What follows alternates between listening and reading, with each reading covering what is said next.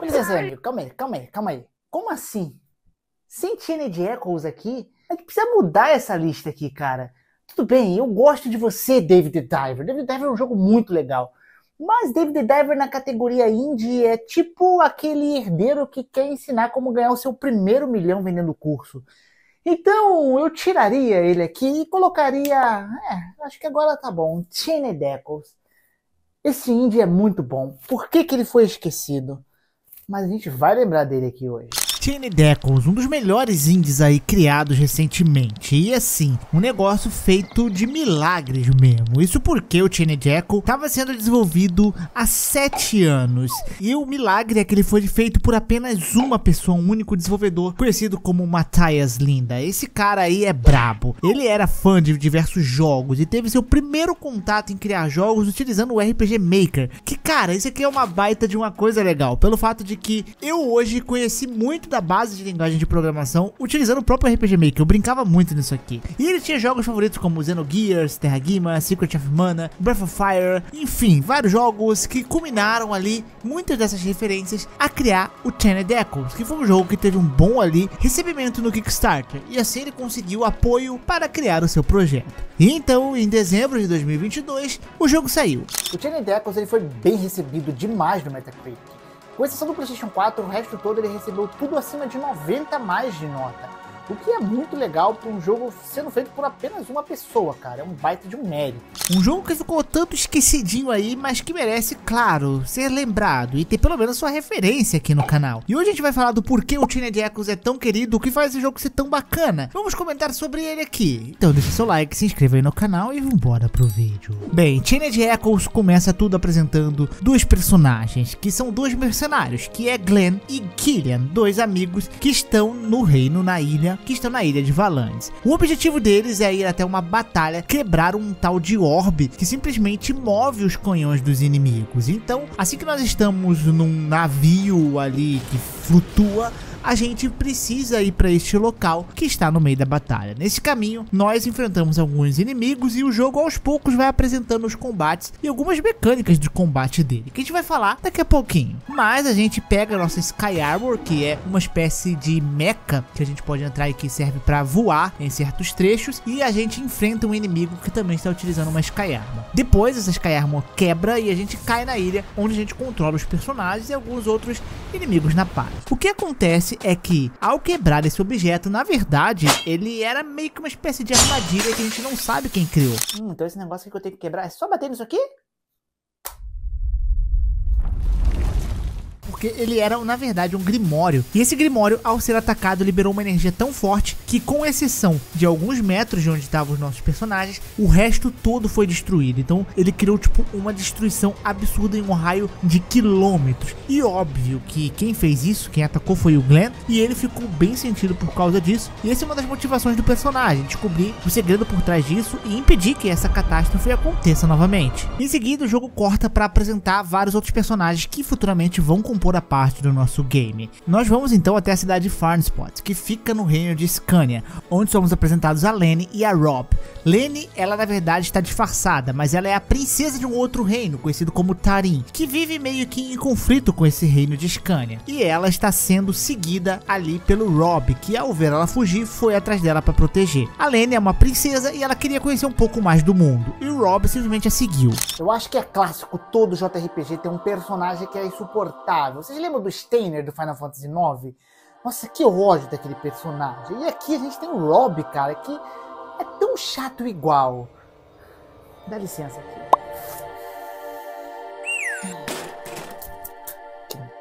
Cortada para um outro personagem que é o Victor, que ele é um escritor de poema. Ele desenvolveu as primeiras máquinas de escrever e assim ele conseguiu distribuir muito da sua obra e ficou meio que muito conhecido no mundo. Inclusive, ele é um ótimo ali pessoa para poder dar buffs e curar a nossa party. E também o Victor logo em sequência, ele é meio que roubado por uma personagem, uma ladra de vermelho chamada de Siena, que é minha favorita inclusive. A gente joga com ela e ela é uma espadachim muito forte, ficava sempre fixa na minha party. E ao jogar com a Siena, nós vamos pro esgoto onde nós encontramos um crack e lá a gente encontra também o Killian e Glenn, que são os personagens do começo do jogo, e eles se unem ali com a gente. Acontece, né, que as coisas vão se dregringolando e a gente acaba indo pro castelo, onde todos esses personagens se encontram. Cada personagem tem a sua história, a sua profundidade, o que tornam eles personagens bem únicos e legais. Eles acabam tendo sempre aquela discussão entre personagens e grupos e cada um mostrando meio que sua individualidade, a sua personalidade. Isso é algo muito legal e você pega carinho por um personagem ou outro a mais do que outro ali, justamente por causa disso.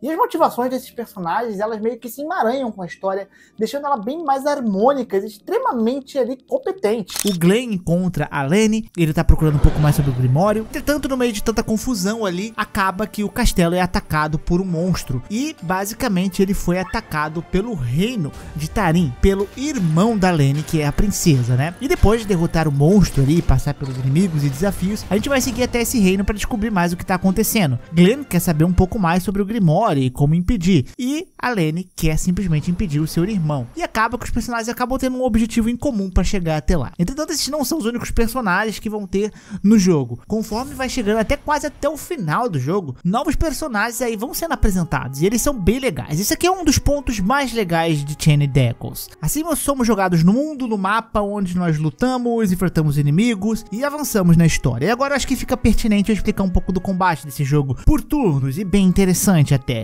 Então você não gosta de combate por turnos, mas você tá sendo hipócrita, você sabia? Você já discutiu na internet alguma vez? Discussões na internet são feitas por turnos. Por que você odeia combate por turnos então? Existem duas espécies de combate: os combates por terra, que são com os personagenzinhos mesmos, nos combates utilizando as Sky Armors, que são as armaduras ali, e elas são mais limitadas a alguns personagens. E esse combate muda pouco a sua essência. O combate por terra, ele tem uma coisa que é uma barra que fica ali em cima, chamada barra de overdrive. Essa barra, ela tem algumas características específicas e que podem mudar o ramo do combate. Quando ela tá no amarelo, por exemplo, o ataque aqui fica neutro. Você causa dano normal, os inimigos causam dano normal e você tem uma quantidade específica de gasto de mana TP quando você utiliza alguma habilidade no game. Quando ela vai para linha verde, aqui é o melhor ponto para se ficar, porque ela vai causar mais dano aos inimigos, você vai tomar menos dano e vai consumir menos TP. Entretanto, quando ela toma um overhit, que ela fica no vermelho, você toma mais dano e consequentemente você causa menos dano e gasta mais TP. E o jogo precisa se equilibrar nisso aqui. Então existem habilidades que você utilizando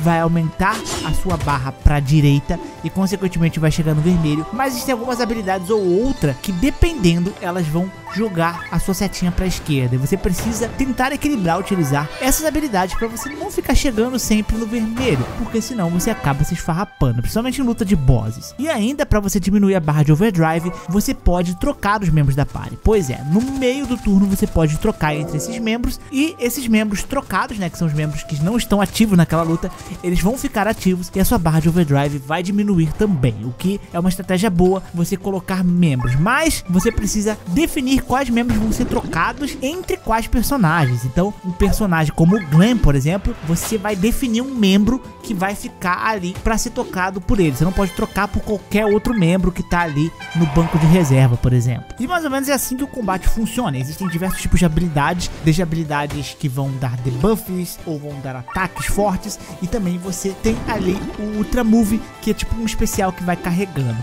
Alguns chefes podem modificar esta barra de overdrive, colocando o vermelho meio que no meio, por exemplo, ou em alguns outros pontos ali da barra, mas eles são bem raros, mas isso pode de fato acontecer e mudar um pouquinho a luta. Inimigos também possuem fraquezas a alguns elementos, então é importante você ter sempre um mago ou algum personagem que tem elementos tipos de terra, fogo, por exemplo, que isso vai causar danos maiores, padrão em qualquer RPG, né? Mas uma das coisas que eu mais gosto do combate do Chain Deckles é que diferente de muitos JRPGs em que você termina a batalha batalha com 2, 5 de HP, sei lá, e você precisa ficar entrando em menu, utilizando poções, se curando, ou vai, use, utiliza a habilidade do personagem para se curar. Isso não existe em Chain Deckles. Cada luta é uma luta. Ou seja, se você terminou falecido, se você terminou com 1 de HP, gastou todos os seus recursos, mana, etc. Na próxima luta está tudo cheio novamente. Seu HP se cura, suas manas se curam e você pode utilizar tudo novamente. Isso é muito legal e isso não deixa o jogo mais fácil, porque o jogo é equilibrado dessa maneira. Então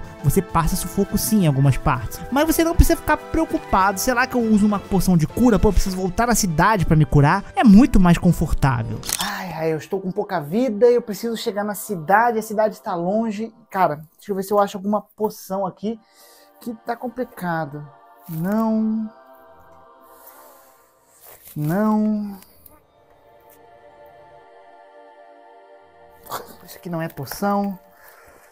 Eu tô sem poção, maluco. E a gente tem o combate utilizando os Sky Armors, os mechas, que eles são um pouco diferentes. Isso porque existem dois extremos do esquerdo e do direito que eles são vermelhos e você fica ali no amarelo. Esses Sky Armors possuem marcha, marcha 0, marcha 1 um e marcha 2 que você pode alterar no seu turno livremente. Entretanto, só pode alternar uma marcha por turno. Na marcha 1 um, você causa dano normal e a barra se movimenta para direita. Na marcha 2 você causa dano maior ainda, entretanto a barra se move para esquerda E na marcha zero, a barra não se move, mas você não pode utilizar magias. A marcha zero serve para quando acabar a sua mana, o TP, porque aqui é a melhor forma de você encher com ataques básicos. Então você vira e mexe, tem que voltar para marcha zero, para depois jogar para 1, para 2 e voltar para zero. Então, tipo, você tem um gerenciamento de marchas, ao mesmo tempo que você gerencia a barra que tá lá em cima, e esse é o combate dos Sky Armors. Em resumo, é um combate bem competente, diferentinho do padrão, e que você fica toda hora ali tentando gerenciar a barrinha que deixa ele bem divertido.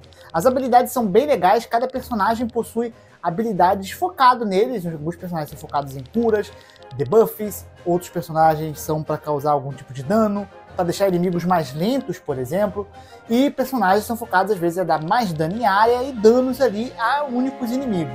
E isso cria uma coisa bem harmônica, onde você vai montando a sua party com personagens que você gosta, você pode ficar trocando a qualquer momento, sempre tendo que gerenciar a barrinha que fica lá no canto, senão, né, você entra em overdrive, isso pode dar problema. Mas ele é muito divertido. Sim. Todo jogo ali eu fui jogando e esse combate não enjoava até o final. E o mundo de Shaned Echoes é dividido por blocos. Além disso, você tem tipo uma espécie de mini mundo onde você navega voando por ele e que você pode acessar algumas áreas, até algumas áreas opcionais. Esse mini mundo funciona de uma forma bem semelhante que a gente tem no JRPGs, né? Mas o mapa ali, quando você desce, eles são divididos por blocos, tipo Ragnarok, Final Fantasy XII, e você vai movendo entre os blocos dessa mesma área. Nesses blocos você encontra inimigos, baús, itens para você coletar no chão, por exemplo. E você explora o mapa desta forma. E tem uma coisa bem interessante que eu acho muito legal, que é o charme de Channel Echoes, que é o board. É um quadro que você possui tipo um tabuleiro e que nesse tabuleiro você vai realizando feitos. Ou seja, tem mapa que pede para você pegar cinco baús ou todos os baús daquele mapa, ou derrotar três tipos de inimigos específicos daquele mapa, pegar tais itens, descobrir tal dungeon daquele mapa, derrotar ali, por exemplo, o inimigo apenas com um personagem. E você tem tipo essas mini conquistas, eu poderia dizer, que você vai desbloqueando no board. E conforme você vai desbloqueando isso em sequência, ah, sei lá, você desbloqueou cinco em sequência, você vai ganhando pontos por isso. Você ganha, por exemplo, os Grimoire Shards, que são a forma de você upar o personagem. Aqui você não upa apenas lutando na batalha. Na verdade, você só ganha pontos para upar habilidades que você já tem. Para você desbloquear novas habilidades, você precisa dos Grimoire Shards. E assim, derrotando bosses, inimigos específicos do jogo ou completando o board desse game. E fica viciante, cara, porque ele não é um negócio extremamente difícil e é gostoso de fazer. E você quer fazer porque você é bem recompensado por isso, porque seu personagem está ganhando habilidades novas. Eu acho que isso aqui é um dos charmes bem legais e me dá uma vibe bem Final Fantasy XII, cara, que é um dos meus jogos de Final Fantasy, se não meu favorito. E cara, é muito legal completar o board desse jogo e você se sente progredindo na história e acaba tornando a exploração bem mais pomposa. A exploração também pode ser feita mais à frente com os Armors, com os Sky Armors. Pois é, você pode utilizar os Sky Armors para chegar em alguns locais, porque o Sky Armor voa. Então tem momento da história que você avança que você pode meio que voar livremente pelo mapa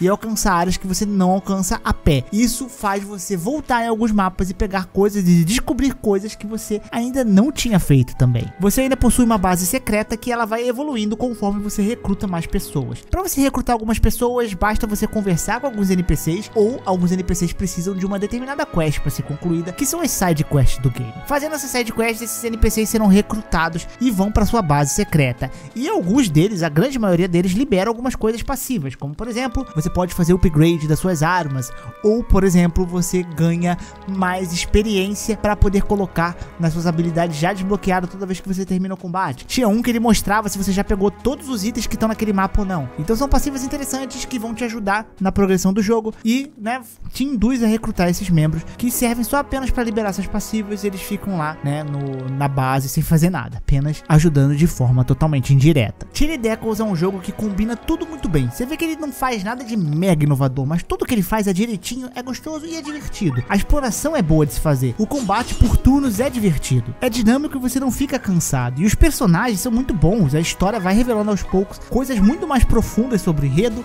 background de personagens mais misteriosos e as coisas vão se interligando, seja pelos grupos e facções diferentes que o jogo tem, seja por motivações e escolhas diferentes dos personagens. É algo muito legal de se ver, é um jogo muito completinho e é um jogo que mereceria muito mais atenção por parte dos amantes de RPG, na minha opinião. Mas infelizmente Chain Jackals tem um único problema. Esse jogo foi desenvolvido por uma pessoa só, o que a gente entende, mas é bem triste, porque se você jogar ele atualmente nos consoles, você precisa saber inglês. O jogo está em inglês e não em português. Se você joga no PC, você tem traduções feitas por fãs, que é bem bacana. Mas nos consoles ainda não. Eu acho que esse foi o ponto negativo do game e foi uma coisa que me fez demorar até a falar desse jogo aqui no canal. Infelizmente, eu gostaria que Teenage Echoes recebesse uma atualização, nem que fosse uma atualização de tradução dos fãs mesmo, só pra galera poder curtir. Vamos fazer esse apelo aos desenvolvedores, quem sabe, ao desenvolvedor. Mas é isso, isso é Chained Deckles. Esse aqui é um dos indies mais esquecidos de 2023 barra 2022, porque ele lançou em dezembro, né? E eu adoraria vê-lo aparecendo no The Game Awards, porque isso ajudaria um pouco esse jogo a ser divulgado. Mas estou tentando fazer minha parte aqui divulgando esse JRPG maravilhoso que é Chained Deckles. Então eu espero que vocês tenham gostado desse vídeo. Um grande beijo, um grande abraço, um beijo no popô, até a próxima. Tchau!